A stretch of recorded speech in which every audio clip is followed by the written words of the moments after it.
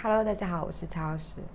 很多两性关系变得很紧张的原因呢，主要还是因为跟这个人在一起啊，总是会给人一种不舒服的感觉。我们人在一种内心紧张感的情况下呢，是不会放松的，更不会感到愉悦，因为你总是在担心说我做了什么就会被对方批评，而不是说被对方所接纳。当这种紧张的情绪被积累多了之后呢，就让你很难去跟这个人相处了。包括在床上也是一样的，所以呢，让这个人舒服放松，真的很重要。